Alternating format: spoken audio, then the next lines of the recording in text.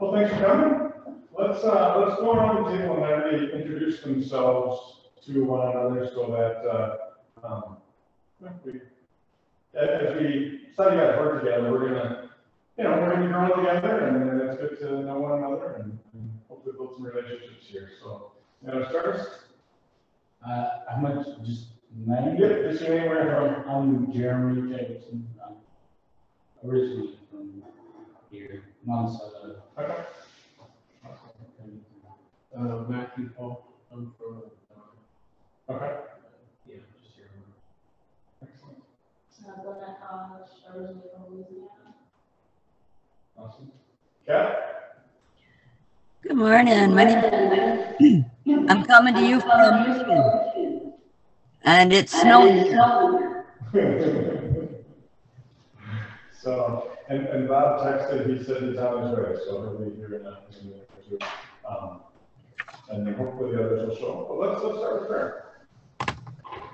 Lord God, thank you for giving us this opportunity to study your word today, bless us through it. Send your Holy Spirit to uh, help us understand your word and, and answer our questions that we can grow in our relationship with you and with one another. In Jesus' name we pray. Amen.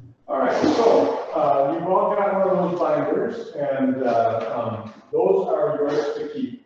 Uh, so feel free to write notes in it and, uh, whatever else it, it may be helpful down the road as, you know, you're talking about something with a friend and, um, well, we talk about that in class, we look at some of the passages. Because basically what it is, is it's an outline with a whole bunch of other questions about specific topics, different subjects. Um, so, hey, Bob. morning. So we are, we just started, um, and you got that book there, that's, that's yours to keep. We'll use that as kind of our, our discussion. The goal of this class, um, is to get your questions answered about God's word. Um, I believe that the Bible is God's word that, uh, I, know not everybody believes that. Um, and, and that's okay, I'm not gonna logically convince anyone, because I understand it's kind of a circular argument. You know, I believe in God, that if the Bible says this is who God is, and I believe that the Bible is God's word because I believe in God, he said he gave it, he said it in the Bible. So if someone is saying, well, I don't believe the Bible is God's word, you kind of break that circular argument, and, oh well, but really, it's a matter of faith, right? God works in our hearts, um, and so, I'll start with that. I believe the Bible is God's word. My goal in this class is to demonstrate what the Bible says about things. Because there's a lot of different teachings out there, right? Different people say different things, and they say this is what God wants, or that's what God wants.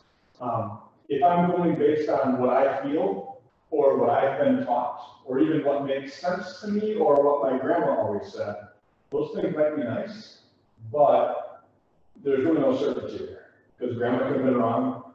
I, my feelings might be misled. Um, so the goal is always to say, this is what scripture says. And then I'll leave between you and God for, you know, whether, whether you believe that or not. Um, but my goal is always going to be answering questions based on, here's what it says in the Bible.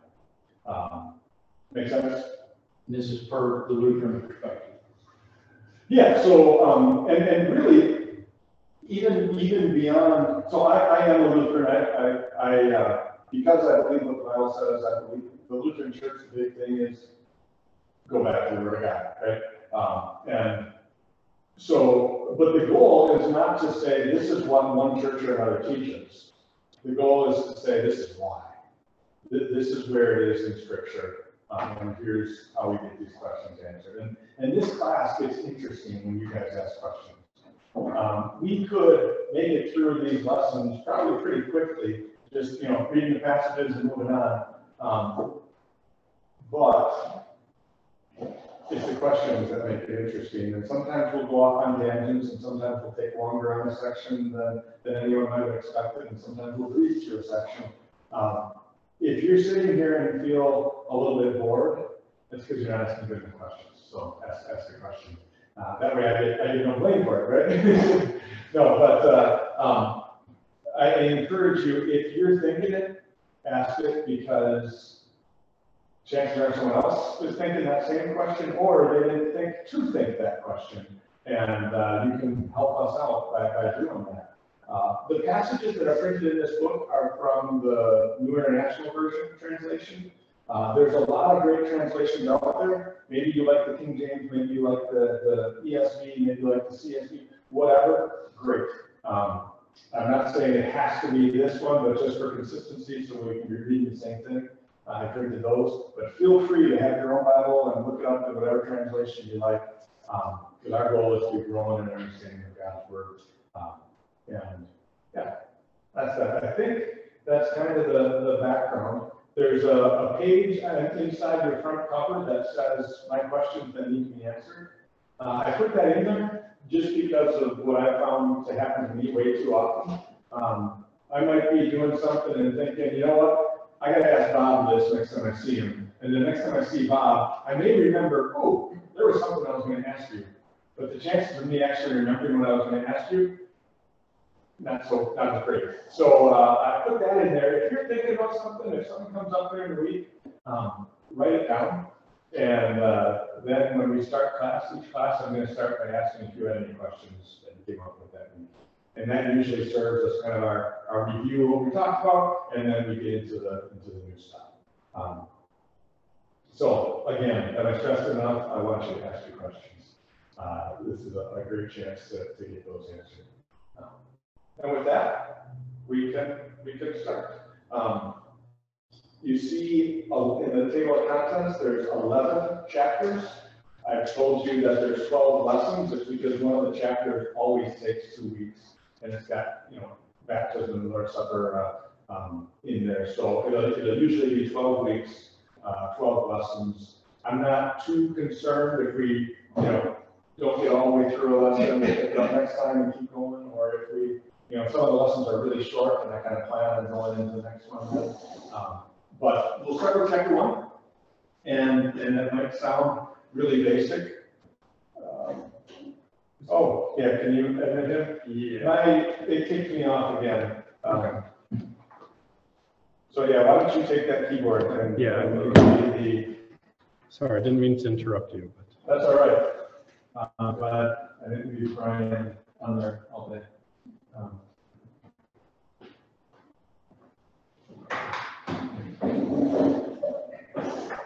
Hey, Brian.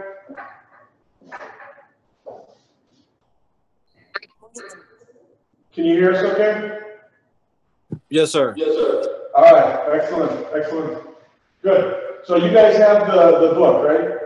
Yes. Yes. Okay, excellent. So I was just telling them, this class is, is gonna be based on your questions, so make sure that you, you ask them. Uh, and, and feel free, if I don't, if I'm not looking at the screen and I don't see you, uh, just, just jump in and, uh, and ask your question and interrupt me. I'm, I'm, uh, not gonna be offended. Um, we want to hear those questions. So. Let's see here. Um, go to, Man, This is not, oh, then go connect it to the video. Let's see if that works. So if my computer here works, you'll see my face, otherwise you get to see the back of my head. Um, So we are in chapter one, and we start with something really basic. Is there a God? Um, I'm guessing, I, I know the answer most of you would give to that, right? You're at a, a class studying God. Um, so yeah, there's a God, but I'm also guessing that there's probably someone you know that, uh, um, might not be so sure about that, or maybe you've gone through times where you- you've wondered about that question. And so, how do you answer that? How do you prove to someone there's a God? I can say, well, there's a God because I believe it. Okay, that doesn't really help me much, right? Well, there's a God because the Bible says so. What's the Bible? What's the book God gave us? Well, if God doesn't exist, why would I think that there's a book He gave me? You know, so so how do you prove it without the Bible? Because the Bible is how God describes Himself to us. Um, then the Bible gives you some help there. How do you answer that question, is there a God? Well, he says, look around. Uh, Look at the, first part, the natural knowledge of God. Says the belief in God is actually logical, and then we talk about why that is. And so I've got a bunch of passages there. What we'll do is, um, I do the play or pass method. Uh, if, if you want to read, great. If you don't want to read, great. Um, and, and let me explain that this way. Uh, if someone asks me to read something out loud that I did not prepare, I, I haven't read it before, I'm not ready for it. When I'm reading it, all I'm thinking about is, am I saying this right? Like, you know, what's the next word? And I'm not really comprehending much of it. Um, I do better if I hear someone else read it, it's something new. Um, if that's you, ask. Other people learn better by reading out loud and, and hearing themselves, and, and so if that's you, go ahead and play. So I always go around the, the room and, uh, uh, give you guys the player pass, so Jeremy, what do you think, Hebrews three, four, you want to player pass? I'll, I'll play. All right, For every house is built by someone, God is the builder of everything. okay. Uh, You know, you walk into a house and you can tell that there's I did it on the a plan, right? That someone built it, you know, and when you came into this church, uh, I'm pretty certain that when you walked in, you didn't say to yourself, you know what, I bet you there was a tornado that came through the forest that used to be here, and it threw all the stones and wood and everything together, and out popped this church. Um, you, you see it, and you realize, okay, there's, there's a design here, someone planned it, someone got the materials together, someone, just by looking at it. And right into Hebrews there, making the point, um, look at the, uh, the, the- the way things work and, and how there is order and structure and, um, you know, the, the, the trees make fruit that, that produce seeds that, you know, another tree grows. Yeah, Bob. Nothing, I'm just in second training, the guys driving watching, it's freaking me out. Oh, okay, okay. So, uh, all right, so yeah, so we've got, uh, uh, you, you look at nature and he says, you can see there's, there's some order, right? So, something made this. Uh, Romans one twenty talks about that. Matthew, you want to play it fast? Uh, All right, For since the creation of the world, God's invisible qualities, the eternal power and divine nature have been clearly seen, being understood from what has been made, so that men are without excuse. okay. So he says, since the world's been here, two things have been clear, right? Um, God's eternal power and his divine nature. Um, He said, just, just by looking at what we see, you, uh, you can tell that. Um, so, you know, think about that, his eternal power, in other words, uh, there's something bigger than us, right? There's something more powerful than us. And divine nature, in other words, different than us, right? God. Um, and sorry for my distraction, I'm trying to get this, this on as well. Um, so yeah, so you look around, you can tell there's something bigger, there, there's something that's not us. Uh, Psalm nineteen one, that's my, my camping verse. Um, You ever go camping? You ever go camping? Away from all the... All the city lights, uh, and you, you wake up in the middle of the night and, uh, look outside at the stars. And you, you actually see the stars, the billions of stars that are out there, and there's really, you can't do anything but just say, wow, right? Or maybe for you, it's a mountaintop or an ocean, you look out, you say, wow. That's declaring the glory of God. It's saying, you know, there's something bigger out here. So much so that Psalm fourteen says, the fool says it's our no God. If you say there's no God, you're fooling yourself. Um, Any questions there on that natural knowledge? So you tell someone, hey, look around, come on, that proves there's something there. But I've had people tell me, no, it doesn't. That just proves that, you know, over billions of years, this all came about and this is what it is. Um, yeah, it's pretty cool. Um, so then do you say then? How do you prove that there's a God? My, my next question is usually, okay, have you ever felt guilty? Um, And for all the times I've asked that, I've only gotten one answer, right? Of course. Everyone's felt guilty at, at one point or another. So then my question is why? If there isn't a God, if there isn't someone that we're answering to, why would I ever feel guilty? Um, and that's what this, this next section goes with. Bob, you want to, Romans two fourteen, you want to play your best? Um, Okay. Romans two fourteen. Indeed, when Gentiles who do not have the law, do by nature things required by the law, they are in law for themselves, even though they do not have the law. since they show that the requirements of the law are written on their hearts. Their consciences also bearing witness, and their thoughts now accusing, now even defending. Okay. Kind of a complex sentence in there, right? But just kind of walk through that. So he says Gentiles, so for the people of Paul's day, for the Jews of Paul's day, there were two kinds of people in the world. There were Jews and everyone else, right? So those are the Gentiles. So he says the Gentiles, they don't have the law, right? They didn't have the Old Testament, they didn't have the priests, they didn't have the temple, they didn't have the prophets. Um, but he said, even though they didn't have that, they still did the things the law required. You know, so you, you look at all the different uh, law codes throughout history, whether it's you know Hammurabi or Strabo or, or whatever, there's some similarities, right? You don't murder, you don't steal, you don't rape. I mean, people get that. There, there's right and wrong. Um, and the, the letter to Romans here talks about how that's demonstrated something. People understand that there is right and wrong, there are things you should do and things you, you don't do. And, and he says that proves something, that proves that that law is written on our hearts. You know, God, God put that on our hearts, and he says our conscience testifies to it, right? You know, when we do something wrong, our conscience does say, that was wrong. When we do something right, our conscience says, no, that was right, here's what they say. Um, that's, it's in us. Uh, Victor, you want to first John one eight? Sure. And if we claim to be without sin, we deceive ourselves and the truth is not in us. Okay. Uh, if I say I've never sinned, I'm not. Pastor, Yes. it is getting really hard to hear you. Okay. Is there a way to, is there a way to switch to the audio? Yes. Um, let's see here. Uh, Vicar, do you want to mute that?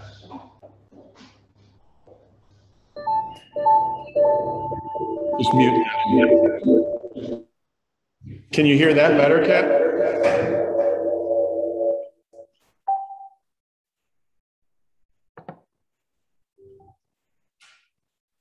How about now? Okay, you're on mute. Let me hear you talk. Much better.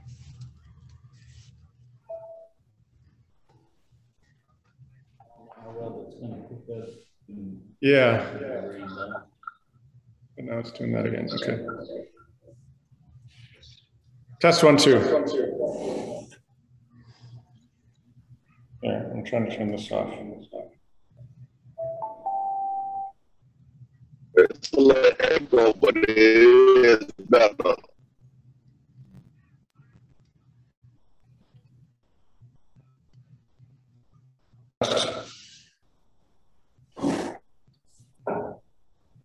All right.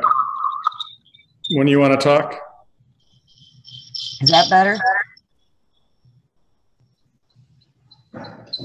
You want to take this outside? Try that. Okay. Sorry for technical difficulties, but okay, so we were, we were talking about, uh, you know, so Romans 3.23, all have sinned and fall short of the glory of God. So, so we've got, we've got two things that people by nature understand, right? That uh, one, there is something bigger than me out there. I might not call it God. I might not, you know, admit to what or who it is, but we have that sense that there's something bigger. Uh, and, and then the other thing, our conscience tells us that we've messed up, right? That's the natural knowledge of God. It says that there is something out there, something that I'm answerable to. Um, and so that kind of leads to a problem, right? If there's someone more powerful than me and I've ticked him off, um, that's an issue. I got to do something to fix that, right? Uh, that's where the natural knowledge of God leaves us. Um, where you know you, you turn the page, uh, it talks about how our natural knowledge is not sufficient for salvation. It just tells us that there is a God. Uh, it's the revealed knowledge, so the Bible, that shows us who that God is. Um, Psalm 96, verse 5. Vanette, you want that one? All the gods of the nations are idols. The Lord made the heavens. Can you guys hear the people in this room when it's on my computer? Yeah? Okay. Barely, I can. Okay, good. Good. Um, yeah, so all the gods of the nations are idols. The um, there were a lot of different gods in the nations around the Israelites, right? There was there was Molech and Baal and Asherah, and they've had their temples and their shrines and their their priests and priestesses and, and all of that. Um, and, and it seemed like there was something there, but notice what he's saying here. The gods of the nations are idols. The, the Hebrew word there is hevel, which is kind of, it's like a mist, right? You know, you go outside on a cold morning and you can see your breath and, and it looks like there's something, but there's really nothing behind it. That, that's that word. So the gods of the nations, it might look like there's something there, but, but there's nothing behind it. And he says, contrast that. The Lord made the heavens. Um, you know, th- there's a difference there. In Acts 17, this is Paul talking about that, uh, that knowledge of God and how we know about him.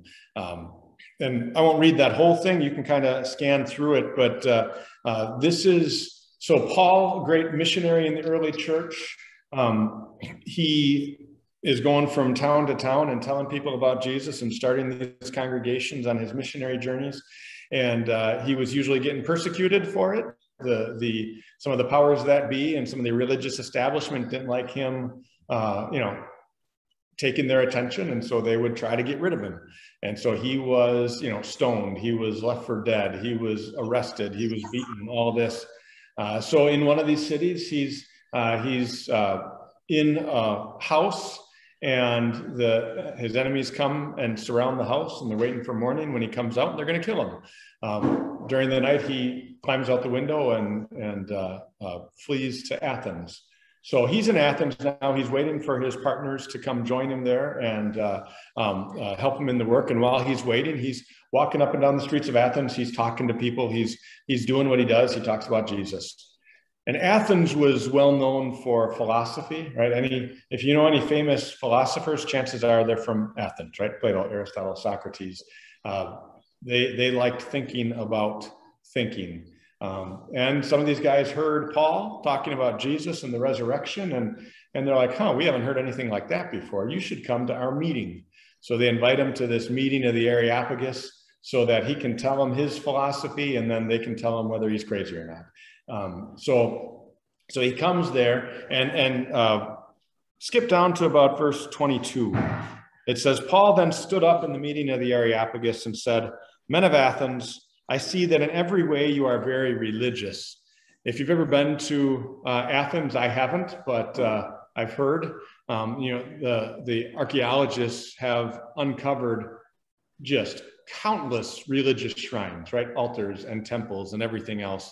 If you've seen pictures of, of Athens, you've probably seen uh, some of those. Um, they were serious about religion and they had all their bases covered. He says, For as I walked around and looked carefully at your objects of worship, I even found an altar with this inscription to an unknown God. In other words, you know, they had they had their god of war and their goddess of fertility and their god of the harvest and their goddess of water and their, you know, all of these different gods and goddesses. And then they even had one, uh, just in case we missed you, here you are. Because think about how that that religion works, right? Um, two things or, or, you know two things seem to be the same but but different things happen. So maybe maybe two couples are both trying to have kids right? And one has no problem and the other um, just problem after problem. Well they look the same. What's the difference? It must be the gods right? They must have displeased. So if you offer this offering to the goddess of fertility then everything will be great or two nations are, are going to war and it looks like this one's more powerful, but this one ends up winning. Well, how did that happen? Well, must be the God. So if we offer a sacrifice, maybe the God of war will, will help us win next time. Um, and so, you know, all of these, because they're coming from that natural knowledge, right? The feeling that there's something bigger than me and I've messed up, so I got to fix it. Uh, what can I do? I can offer this sacrifice. I can bring this offering. I can go to this temple. Um, and, and so they had these for all the different facets of life. And then even, hey, in case we missed you, here's one for the unknown God. And then Paul says, what you worship as something unknown, I'm going to proclaim to you. Right? When we look at the natural knowledge, we we don't know the answers. Uh, we need God to give us the answers, and that's what He does with His Word. Um, but the purpose of the natural knowledge is to make us look for those answers. Uh, look at Acts 17, Let's see, Kat, you want to play or pass? I'll play. All right. From one man he made every nation of men, that they should inhabit the whole earth. And he determined the time set for them and the exact places where they should live. God did this so that man or men would seek him and perhaps reach out for him and find him, though he is not far from each one of them. Okay. So God made everything. He determined the time set for, for people. I mean, you think about it. Um, did anyone in this room know each other before today? Yeah, no. Okay. Yeah. Um, think of think of all the little things that happened that somehow you find yourself in this room studying God's word with this group of people. Right? You know, maybe maybe it was big things. Maybe maybe something drastic happened in life. Maybe it was a little thing. A friend gave you an invitation, or someone showed up at your door. Uh, maybe maybe uh, you had a setback at work, so you were thinking about something, and then God gave an answer. And and you know, all these little things that happen, God says, "Oh yeah, I did that." Uh, he, he he put all of these things in our path so that we would be looking for answers. And, and notice it says He's not far from us, right? His word is right here. Um, but he arranges our lives so that we're looking for those answers. Um, you know, everybody needs a relationship with God. That's that's what we were created for. That's why we were created as a species, uh, as a race, to be to be to have a relationship with God. But not everybody understands that. But we all know that need, right? Some people try to fill that void with money or drugs or alcohol or parties or family or you know uh, all sorts of different things either good or bad we try to fill that that void. Um, but let's say if, if i'm if i'm saying okay i'll be happy i'll be fulfilled once i'm a millionaire. Um, you guys know how it goes. What happens once i get a million dollars? What's that? I need two now right? It, it's not enough. I always need more. You know there was a, a survey of the richest 2% of atlantans and one of the questions asked um, was, uh, are, are you financially comfortable? Um, and then, you know, what would it take to make you financially comfortable? So these are people that are making more than I'm ever going to see in my life every year, probably every month. I mean, the, it's, it's multimillionaires. Um, and like 14% of them said, I'm financially comfortable. The other 86% of people who have more money than I could ever dream of having say, nope, not enough. Um, whatever we're going for, if, if I try to fill my, my fulfillment with parties or with friends or popularity, I'm always going to need more. Um, there's an old saying, uh, it's a prayer written by a guy, what, 1700 years ago. He wrote, Our hearts are restless, O Lord, until they find rest in you right? We have this need for God. And until that is filled, we're just going to be chasing after everything else. But he said he put that in there so we're looking for him so that he can give us the answers. Because the natural knowledge only leads to one of two outcomes. Either I realize there's something more powerful than me and I, I, I know I've messed up, so I got to do something to fix it. So it's a life of constantly trying to do enough, always wondering if I'm doing enough. Or I just say, you know what, I don't want to bother with that. And I try to tell myself God doesn't exist neither of those end well. Um, God's the one who gives the answer in his revealed knowledge. Uh, John 3 16. Uh, Nicole, you want to play or pass on that? Um, I'll play. Awesome. For God so loved the world that he gave his one and only Son. Oh, Son, that whoever believes in him shall not perish but have eternal life. Thank you. Uh, you've probably heard that passage before, right? Um, but but think about it. You you would not have guessed that going by the natural knowledge, right? Something more powerful than me, I've ticked him off. I would guess, okay, he's going to punish me, right? Or I got to do something to make up for it. Not he's going to punish his own son. He's going to sacrifice. That doesn't make sense. But that's God's solution. And that's that's the beauty of, of the Bible is that it tells us something that blows our mind, that God loves us in spite of ourselves. Um, any questions on that first part? On the, the natural knowledge of God, revealed knowledge of God? So there's something I don't know what, something that he said about Hillary. Because they know, right, animates what animates my body, animates your body, and that's of God. That's how children know. And as life comes along. That, that what comes As along? life comes along. Okay. And responsibility and adulthood, and parenthood and death, killing, whatever comes, right? Um, it's easy, I'm speaking for myself, not speaking for anybody else. Yeah. To know, to get further and further on into my own, um, I still know it's not the same as when I was a child. But as my children, and they're knowing Mhm. and asking questions that you said a while ago, and I didn't go back. Okay. I think there's, uh, it's all accurate, is what I'm saying. Yeah, yeah, and I, th- I think bringing up the kids is is really valuable because I mean, think about kids have questions about that kind of stuff, right? Because they sense it too. Uh, Sometimes I think when you know we get to be adults, we we convince ourselves not to ask some of those questions, right? Um, oh, I don't want to think about that, but then the kid comes along and says, "But Dad, what about this?" And you're kind of forced to think about it, right? And then God works through all of that to to get us to be looking for answers and and I praise God that He's He's brought you here to be looking in the Bible for answers because that's where He gives us His answers. Um, awesome. Anything else on that first part? Well, then the second half of the first lesson is just a list of a bunch of things that God says about Himself. So we're going to look at some some attributes of God. Um, there are a lot of people out there with a lot of opinions about God. Um, you know, I I might think that Vicar is a concert pianist. Um, I don't know if he is or not. Uh, Vicar, are you a concert pianist? Well, don't ask me to prove it, but. okay, but uh, so so he knows. I don't. I have to ask him, right?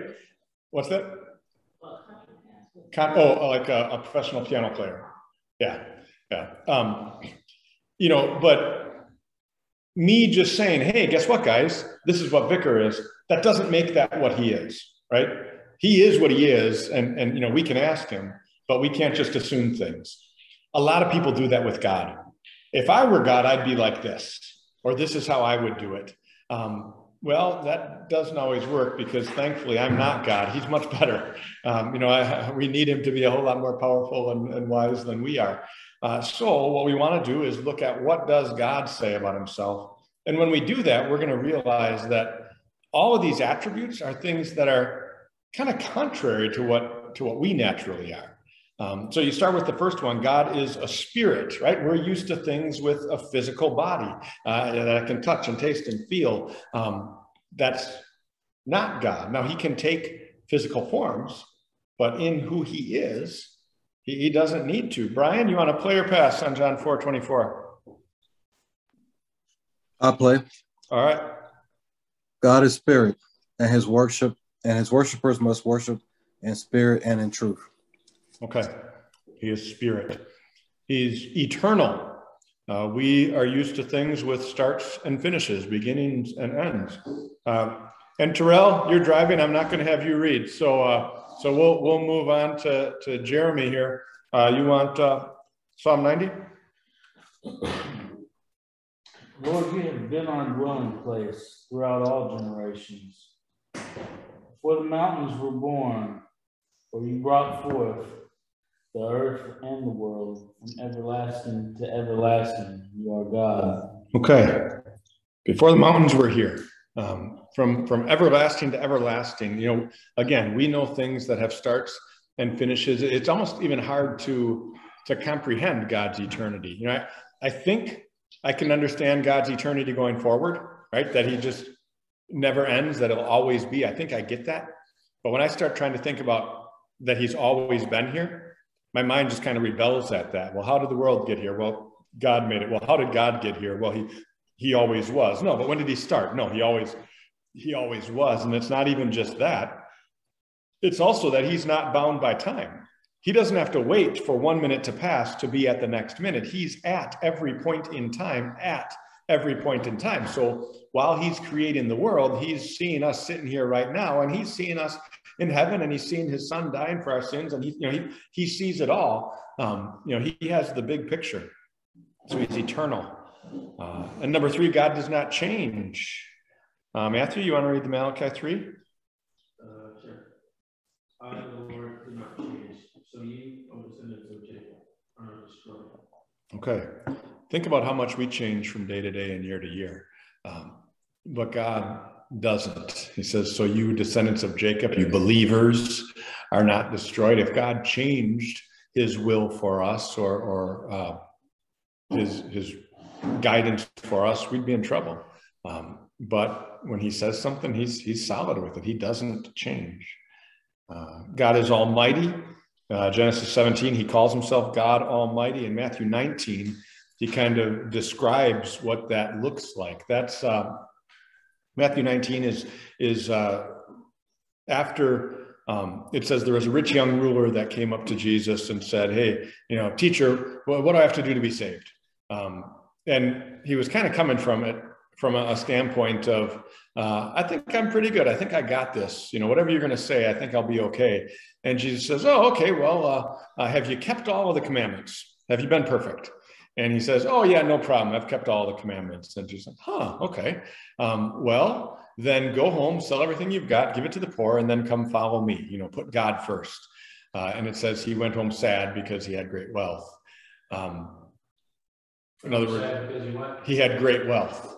So, so you know, Jesus was demonstrating to him that he hadn't even kept the first commandment, right? Um, that uh, uh, he hadn't even put, he can't, he wasn't putting God first. He was putting his wealth first. Uh, and then the, uh, Jesus says how hard it is for the rich to enter into the kingdom of heaven. It's easier for a camel to go through the eye of a needle. So the largest animal they were familiar with, the smallest opening they were familiar with. Um, and, and so one of the disciples says, so you're saying it's impossible? And that's when Jesus says this. Bob, you want to read that one? Where we at? Matthew 19, 26. It's, Jesus looked at them and said, man is impossible, God. Okay. It's impossible for us. Uh, there are no limits for God. Um, he is he is almighty. And, and I think here's one of those places where we try to put God into a human shaped box. Um, I think a lot of times we think of God as really, really, really powerful. But that's not what he says, right? He says he's almighty. So there's no limit. You ever heard anyone say, well, I didn't want to bother God with that because it's such a small thing and, and he's busy? Well, no, there's no limits. There's no God getting busy. He has all the bandwidth, right? He, he can do it all, uh, almighty. Um, Can, can I? Yeah. What question? Right. Yeah. Isn't there a verse where he says, and I don't know if it's in Matthew or in a mirroring verse of another chapter. Isn't there a verse where he plainly says, No man be my disciple lest he sell everything? Uh, well, so he, he says, if anyone would come after me, he must deny himself, take up his cross, and follow me. Um, Right, but I mean more particular to exactly what I just said. So- It says, no man be my disciple. I was about to Google, I didn't want to read class, Okay. I was gonna Um, for it, because I'm pretty sure there's a verse where says, no man be my disciple, lest he give everything he owns away. I'm trying to think. There, there are some some passages where he talks about, you know, absolutely putting him first. Um, but I'll, I'll look into that. And, And it doesn't contradict anything that happens in Acts with the church either. In the pulling of resources. sure. So they, they, I um, think there is. It's just It's just since we were on that. verse. Yeah, yeah, no, that's a good question. I'll, I'll look into that and get back to you, but I don't think, um, I mean, in, in Acts, yeah, you have some of the, the followers who uh, are, are giving for the poor. And, you know, Peter even makes the comment, you didn't have to do that, right? It was yours. You could have done what you want, but you decided to, to give that. Um, yeah, so this is the one place I'm familiar of where he tells someone, sell it all, right? Uh, in his conversation with Lazarus, you know, uh, La- not Lazarus, uh, yeah. Um, the tax collector. Uh, I'm thinking rich man and poor Lazarus, but there's also Lazarus, the, yeah, the same guy. Okay. Zacchaeus, Zacchaeus, that's the name I'm thinking of. Okay.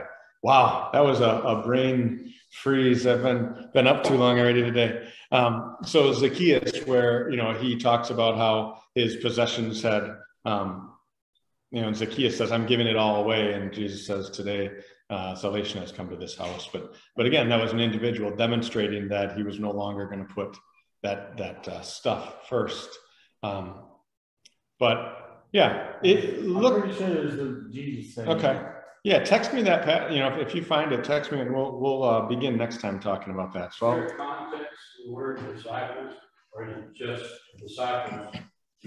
Just in Jesus' group, or are we talking? So yeah, that, that word disciple is used in different ways in scripture. So the, the word itself means a learner, right? Someone who is learning. Uh, and sometimes Jesus talks about, uh, well, in the Great Commission, go and make disciples of all nations, right? Make learners of all nations, teach them, uh, baptize them and teach them. Uh, but then we also have places where it talks about Jesus disciples specifically of that group of uh, and, and, here again sometimes it's talking about the 12 disciples that are, are listed as those special followers of his that were his kind of you know inner group but then sometimes it talks about the the rest that were following him and, and learning from him as well um, you know the the 500 that were there one time or you know uh, yeah so the the word itself means someone who learns, and sometimes it's used specifically for that small group. So, yeah, good. So, yeah, so we got God is almighty, not just really powerful, he's almighty. Uh, God knows all. You know, we we might think we know a lot, and Google knows even more, right? But but God knows all and he knows what's true and what's not. Google doesn't always do a good job of that. Uh, but uh, let, us read that one. Psalm 139, verse 4. Whose turn? Is that you, Vicar? Okay. Uh, before a word is on my tongue, you know it completely, O Lord. Let that one sink in for a second. Before I even say it, he knew what I was thinking. Um, that could be a scary thought, right? Um, it can also be a comforting thought. So, in the house that I grew up in, uh, most of my years were living upstairs. That's where most of the kids' rooms were. Um, and when you're walking up the stairs, there was a picture of Jesus right on the top of the staircase. So as as you're walking up, uh, you see Jesus there. And it's one of those where uh, uh, the eyes have that white dot at 11 o'clock. You know what that does? So that no matter where you are in the room, Yeah, yeah, yeah. it looks like he's he's looking at you. And uh, some days that was a freaky thing, right? You're going up the stairs like, okay, Jesus, don't look at me. Other days it was great. Hey, Jesus is watching me. That's awesome. Um, what's the difference? Well, what was I just coming back from? What did I just done? Right? Um, I don't want Jesus to see the the bad stuff, but but you think about it, how comforting it is that God knows everything. If you've ever had a friend that uh, uh, you knew something was wrong, but they wouldn't tell you what it was and you didn't know what was wrong, how do you help? Um, but with God, we never have to worry about that. Even if I'm ashamed to tell him what's wrong, he already knows. And he's the one that loved me so much that he sent his son. He's the one that's almighty that he can do something about it. Uh, so he knows all. What, what an amazing comfort uh, that, that, that, he knows all. Uh, he's everywhere. Uh, you know, remember when uh, Adam and Eve sinned and then they heard God coming and, and what do they do? They, they hide. You say, boy, that's silly, Adam and Eve. But, um, well, we kind of do the same thing too, don't we? Uh, I'm feeling guilty, and maybe not the first thing I want to do is pray or, or think about God being here watching me. Um, but God is everywhere, so we we can't hide. Uh, he, he's always there for us, always searching for us. Number seven, God is holy. The Isaiah passage, you have the angels around the throne calling him holy, holy, holy, holy. Uh, and here again, I think we try to put God in a human box. We like to think of God as really, really, really, really, really good. Um, but no, he's more than that. He's holy. That's That's the absolute opposite of sin. Holiness and sin cannot go together. One destroys the other. Sin destroys holiness because you're not holy anymore if you have sin, or holiness has to destroy the, the sinner, right? I mean, it, that, that's justice. Um, and so God is holy. That means that God doesn't grade on the curve. Um, so often I think we try to convince ourselves that, well, as long as I'm as good as I can be, then that's good. No, if I want to be with God, I have to be holy. I have to be absolutely perfect. Um, now, thankfully, God sent His Son to take my imperfection away and to give me His holiness. But but but I need that. I can't do this on my own because um, because I'm not holy. Uh, but God is holy, completely different than us, and that's why He made the plan of of Jesus. We'll talk about that next time, um, so that we could be with Him. We could be holy. Uh, God is faithful. Let's read 2 Timothy 2.13. You want that one, Glenette? Uh, yeah, 2 Timothy. If we are he will remain faithful, we cannot disown so. Okay. You know, we make promises and try to keep them. God can't not keep them, right? I mean, the, the, he's God. Uh, he cannot break a promise because then he wouldn't be God and that's part of who he is. So you think about how, how awesome it is that even when we mess up god is faithful to his promises. And god is good. Kat you want psalm 145 The Lord is good to all. He has compassion on all he has made. okay. Well, pretty straightforward. The next one is is an interesting one. And i think that sometimes people kind of lean on one side or the other of this pendulum right? Where uh, uh, it's true that God is compassionate and gracious, and it's true that God is just. But I think people kind of take, so some people look at God as like, I call it the grandfather God, right? Moms and dads, they have to discipline, right? There's consequences for actions and all that. But grandma and grandpa, they get to spoil, right? Oh, I don't care what you did. I'm going to give you candy anyway, right? Some people think of God like that. Oh, he doesn't care what I do. He just loves me and he's going to give me everything.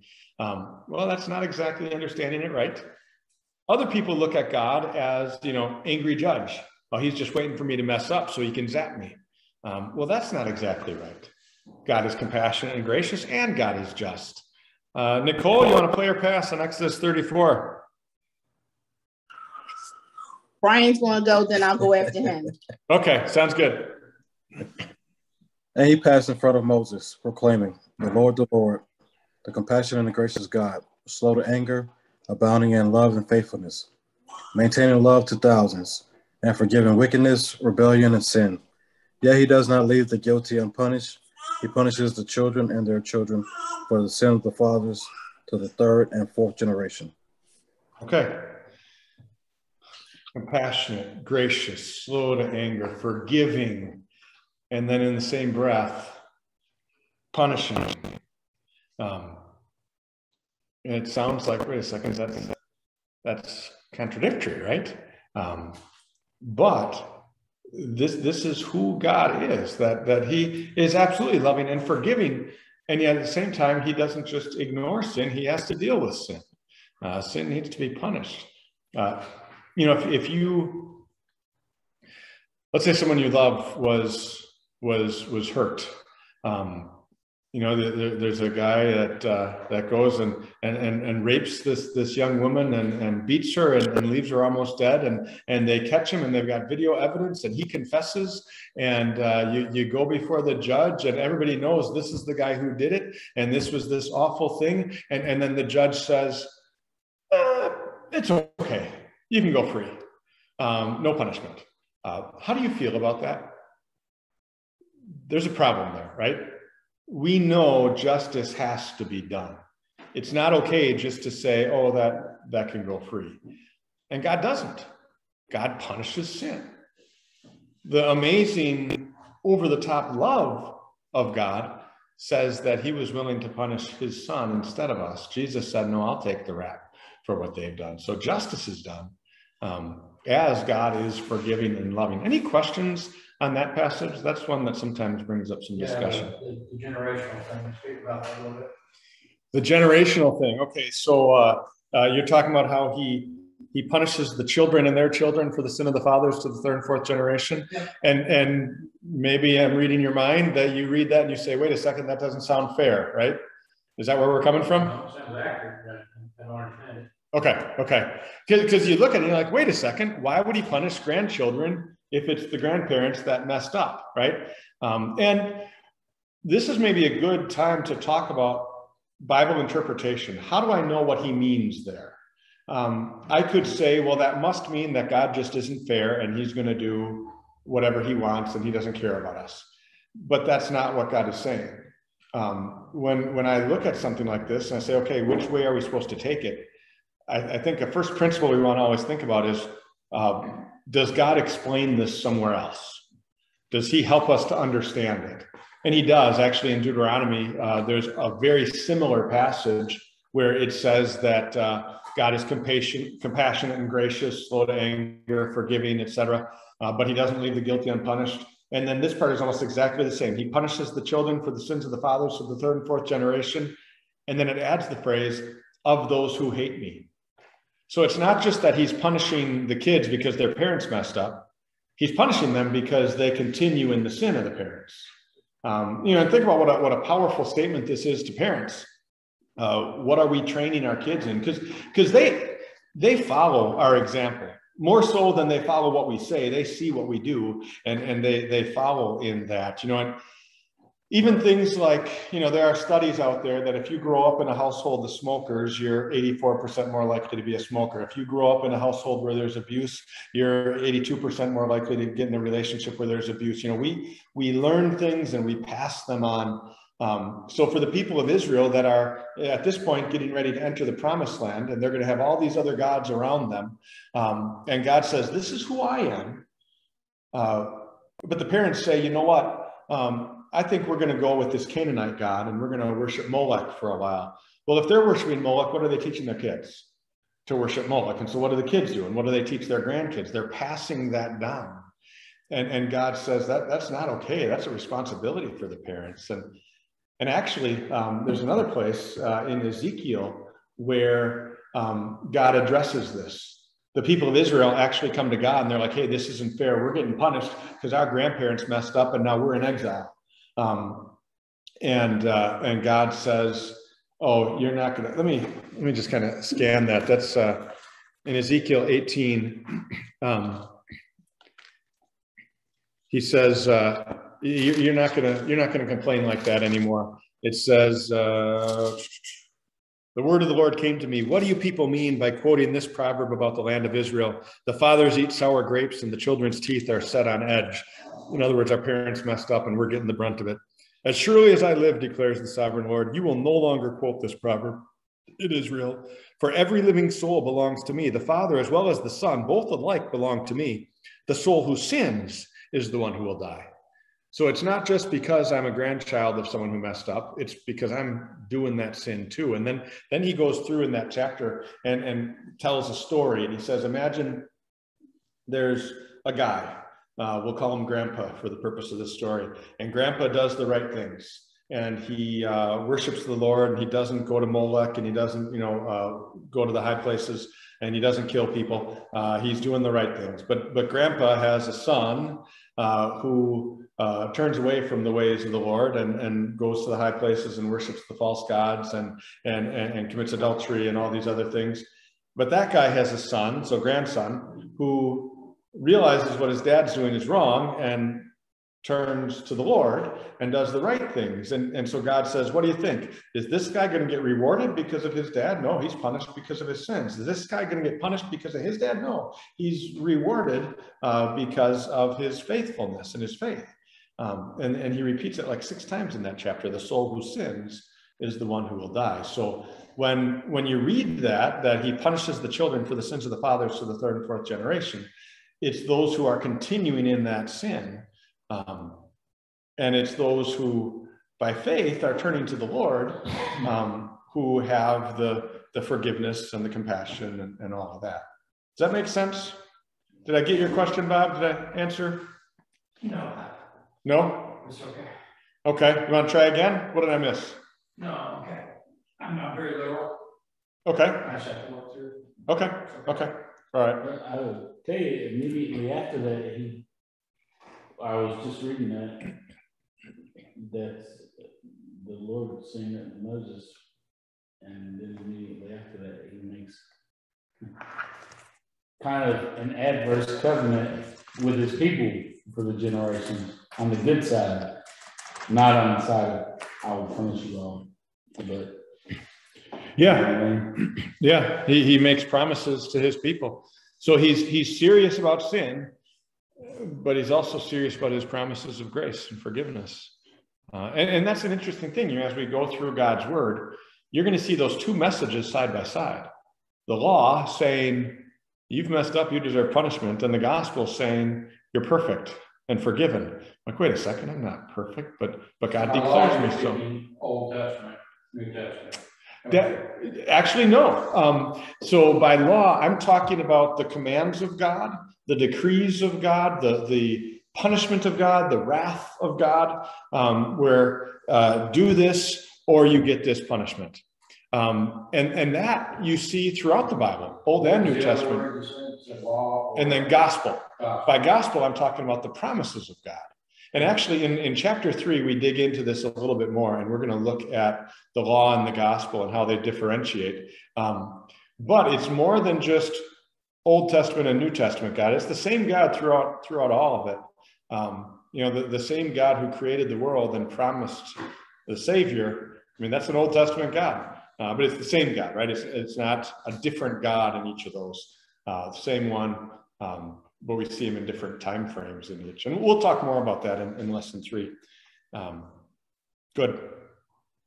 So, uh, yeah, God's compassionate and gracious. God is just. Anything else on that one?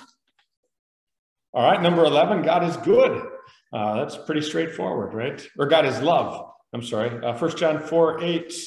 Nicole, you said you were going to take this one?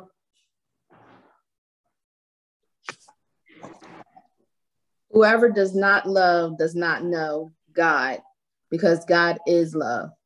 Okay.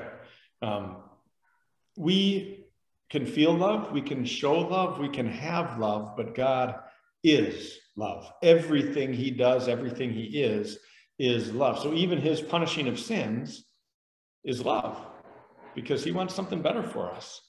Um, and then the last one God is a triune God. Uh, the word triune or trinity, those words don't actually show up in the Bible, but we use them because they describe what the Bible describes. Uh, triune, tri like a tricycle, three, un like a unicycle, one. Real literally, it's just three in one. Uh, so we have a, a three in one God. Um, because the Bible says there is one God. Uh, Deuteronomy 6, verse 4. Um, I guess we're back in the room. Jeremy, you want that one?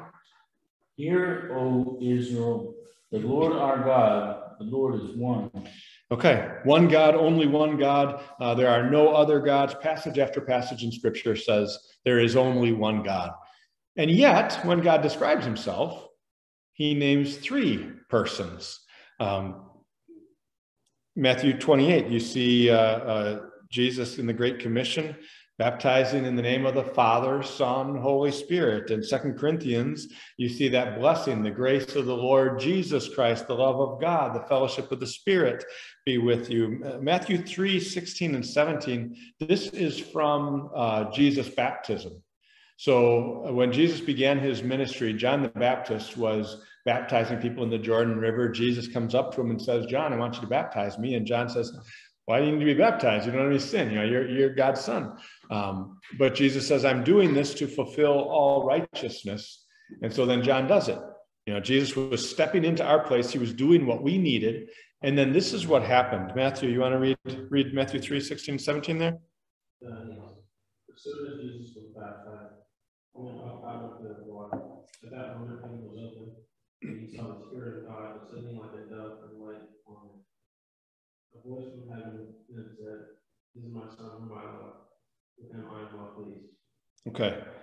So you see Jesus, the Son, standing there in the water. You see the Father speaking from heaven. You see the Spirit descending in the form of a dove. And you say, that's three, right? And yet the Bible says there is one. Um, it's one of these things that my mind does not grasp. I don't get how this is. You know, you've, you've got the, the picture there that doesn't help it make sense, but that explains what the Bible says, right? The Bible says that the Father is not the Son, right? It was the Father speaking, the Son was standing there in the water. The Son is not the Spirit. Uh, Jesus said he sent out the Holy Spirit. The Spirit is not the Father, and yet the Father is God. The Son is God. The Spirit is God. And not that they're each a part of God, but they are each 100% absolutely fullness of God. You know, in Christ, all the fullness of the deity lives in bodily form, the Bible says. Um, so the math of it, one plus one plus one equals one. My mind says, no, wait a second, that's got to be three. No, one plus one plus one equals one. And here's where I take some comfort that I can't understand everything about God. Because if my mind could grasp everything about God, he wouldn't be that much of a God. He'd, he'd be another guy. Um, but since he is beyond me and bigger than me, I'm okay saying, all right, this is just something I don't fully understand, but this is what you say. So I believe it. It's like the, the teenager saying, okay, dad, I don't get why you want me to save money. Um, and and then when all of a sudden they want to buy that car oh now i get it um, in heaven maybe we'll get it but uh, but right now we just trust okay god this is what you say all right so any questions on the trinity Uh, yeah matthew. Yeah, so, um, when we say like, um, God is the creator of everything, Mhm. that applies to the Father and Son and Holy Spirit. Yeah, so the, and that's so the the dogmaticians talk about how when the Bible describes the works of the Trinity, that the the um, we can't divide some of those those works like like two between them there's there seems to be division in the work but when it comes to god interrelating with us we can't fully divide it. So like normally the bible talks about the father being the creator right but then it also has passages where it says you know the son nothing was created without him and all things were created through him or you know the, the spirit hovered over the face of the deep and he was there it was the word that was used to to, to create you know he god breathed into the man the breath of life the the, the spirit of life so um, all three were involved. Usually we think of the Son as the Redeemer, you know, the one who paid for our sins. And yet the Bible also talks about the Father as the, the Redeemer, or, you know, the Spirit being the sanctifier, the one who brings us to faith. And yet the Bible also talks about the Father and the Son being part of that work. So, uh, yeah, so it's, it's hard for us to fully understand that. But yeah, normally the Bible speaks of you know, one of the persons leading in a specific work, if that makes sense. Uh, good question. Anything else on that? Yes. Yes. So whenever you do, you know, that. Mhm. So with the hand gestures, that, would that be like a divine of the Holy Spirit? So, so the um, those of you online, she was asking about you know when when someone crosses themselves, or like in church, when I in the name of the Father and of the Son and the Holy Spirit. What I'm doing there, what we're doing, is making the sign of the cross, remembering how God connected us to Him. Right, there was a gap between us and God. There was uh, uh, uh, our sins separated us from God. And then Jesus came, he died on the cross. And that cross, that, that work of Jesus covered that gap. Uh, and so when we, when we uh, name God in the name of the Father and of the Son and the Holy Spirit, you know, when, when we say that in, in worship at the beginning of the service, we're remembering our baptism. When we were brought into the name of the Father and the Son and the Holy Spirit. And when we do that, we, we use that hand signal to remind us of the cross, of the work of God for us in connecting us to Him. Jesus died on the cross for our sins. Um, so yeah, so really, it's it's really talking about the second person of the Trinity, the one who died on the cross, and and yeah, it's not really the um, you know uh, the Holy Spirit, although it's the Holy Spirit that works faith in our heart and, and all of that. Does that make sense? Okay. Is there a reason for the direction? So you wouldn't go, uh, this way, uh, the- Just tradition, tradition. And it's one of those things that as tradition develops, people sometimes, you know, make up some other stuff around it, like, uh, uh, for a while, you know, if, if you made a left-handed cross, that meant that you were you were saying something uh, something negative, and but just different things that come up. But the the sign of the cross is designed to to remind us of what Jesus did for us. Yeah. Mind, heart, and. Yep. Yep. And so the Trinity, so God exists outside of space and time because we're linear. Is that why Christ came in flesh? Because there had to be, I don't know what I'm saying. Yeah. So to um, to connect with us, so that we could grasp something, so that uh, He could relate to us, um, and actually, that's uh, lesson lesson three. We get into that Jesus taking flesh, or the Son of God taking flesh, and all of that. So so we'll dig into that more in lesson three. So you guys have given a good preview of two and three already, um, which which is good stuff. That means we're talking about the right things in here. Um, I will leave that last passage. We'll start with that next time, but but I do want to get the two the the, the little quiz there. True or false quiz. Uh, number one, true or false? There are three distinct persons in the Trinity. True, right? Father, Son, Holy Spirit. Uh, true or false? There are three separate gods. False. God says there's only one God. Again, I don't get how that works, but um, if the Father is God and the Son is God and the Spirit is God, and God says there's only one God, okay, three in one. So there's only one God. That one is that one is false. Number three, the Father existed before the Son and the Spirit. False. Okay, that's one that a lot of times trips us up because um, you're right, it, it's false because God is unchanging. Uh, God is eternal. So one was not before the other. The Father, the Son, and the Holy Spirit always have been, always will be. But I think sometimes it gets confusing because we think of Jesus, right? Jesus, the Son of God, took flesh at a certain point in time. But that wasn't his beginning. Uh, the Son of God was always there. It was just at a time that he took flesh. Um, you know, we talked about how he was there when, when the earth was made. Uh, from everlasting to everlasting, he is God. Good. Um, and like I said, we'll, we'll cover that last passage at the beginning of next time. Any other questions? I apologize. I, I took you five minutes long, but uh, you guys had good questions. Yeah. Oh, uh, go, go ahead, Nicole. Um, quick question is probably off the a little bit, but I'm curious to know since we're talking about the Trinity. So we do in the name of the Father, Son, and the Holy Spirit, right? Yep. And they do thing in the Catholic Church, but they're not worshiping a God, they're worshiping Mary. I'm confused about that. Okay, so um, getting into what what some other churches teach. So, like the official teaching of the Catholic Church would be that they do believe in God the Father, God the Son, God the Holy Spirit. They they would teach the triune God. Uh, but you're right, they do elevate Mary and and even some of the other saints uh, beyond where they should be elevated, right? I mean, Mary, um, the angel said all generations would call her blessed. Absolutely. We, we praise God for using Mary in a very special way to be the, the mother of Jesus.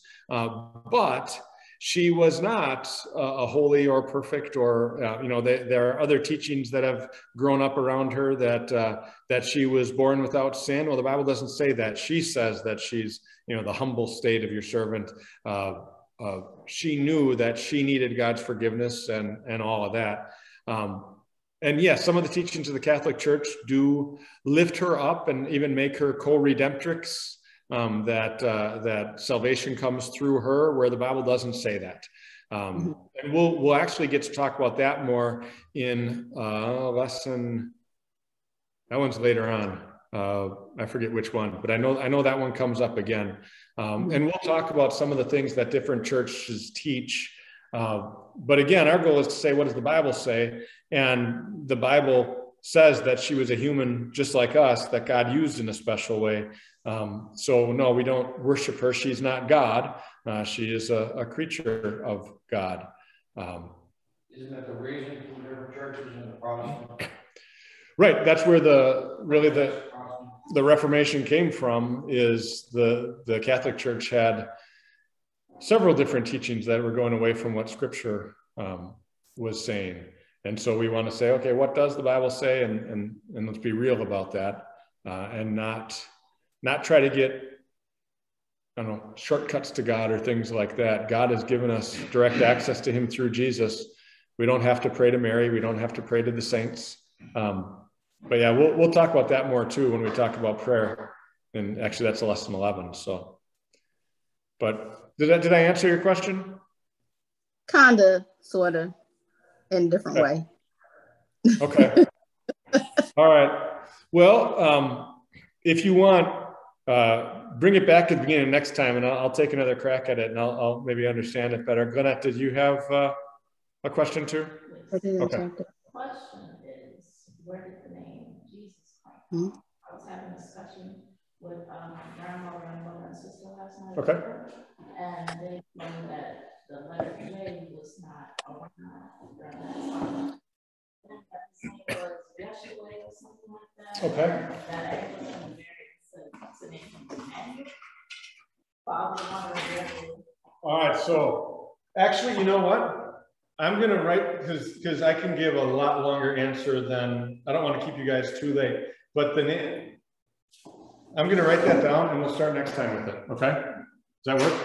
So uh, um, yeah, Greek Yeshua uh, or Hebrew Yeshua, Greek uh, Jesus uh, with the the yod, the little y sound. But but we'll we'll get into that. Uh, we'll get into that more because that's a that's a really good good question, good thing to talk about. Um, so why don't we close with prayer? Because I try to respect your time. I know that people have a lot of things going on, and and I want us to be able to plan for an hour. And uh, uh, I apologize for taking a little bit extra this time, but um, I'm having fun. Hope you are too. So let, let's close with prayer. Lord God, thank you for giving us this time in your word and the opportunity to to work with one another at understanding your word. Bless us, send your spirit that, that we may keep growing in our relationship with you and with each other. In Jesus' name we pray it. Amen. Thank you, Pastor. You're welcome. See you next Sunday. Okay, see you, Kat. Luke fourteen thirty-three was the, The one you were thinking about? yeah.